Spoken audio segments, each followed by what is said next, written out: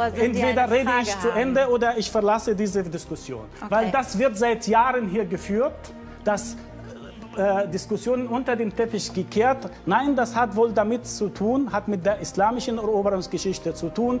Damals wurden auch Christen in Syrien und Irak äh, der, der, Wahl gestellt. Entweder konvertieren sie zum Islam oder bezahlen sie Kopfsteuer oder werden sie getötet. Und die ISIS-Leute haben das, haben das auch fortgeführt.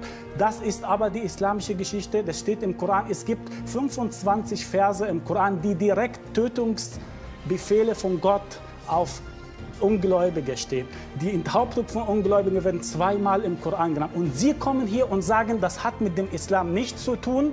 Kein Wunder, dass viele Menschen in diesem Land verunsichert sind. Nicht nur, weil die Terroristen solche Gräueltaten begangen, weil so vermeintlich liberale Muslime das unter den Teppich kehren und somit auch den Fundamentalisten den Rücken stärken.